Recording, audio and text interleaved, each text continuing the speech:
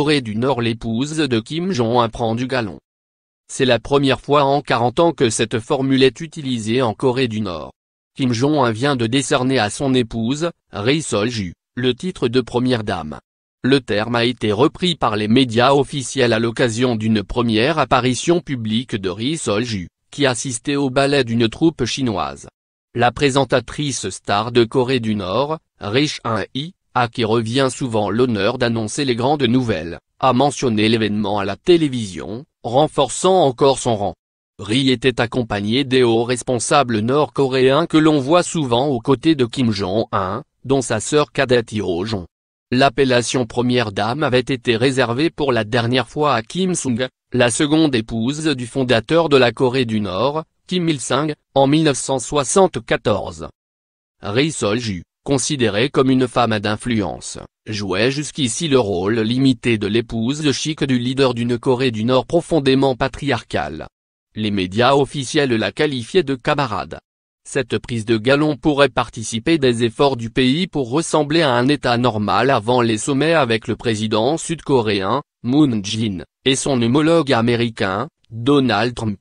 La promotion de Ri Sol-ju, c'est la stratégie marketing la plus efficace, commentant Chan-il, transfuge nord-coréen et chercheur à l'Institut mondial des études nord-coréennes. Il relève que celle-ci accompagnait déjà son époux à Pékin le mois dernier pour sa première visite à l'étranger depuis son arrivée au pouvoir fin 2011. Le mystère autour de Ri est soigneusement entretenu par le régime nord-coréen.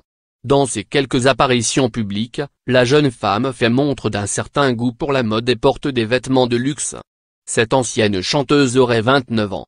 D'après le renseignement sud-coréen, elle serait issue d'une famille ordinaire, d'un père enseignant et d'une mère médecin. Ancienne membre de l'orchestre UNASU, elle aurait poursuivi, d'après la presse, des études musicales en Chine.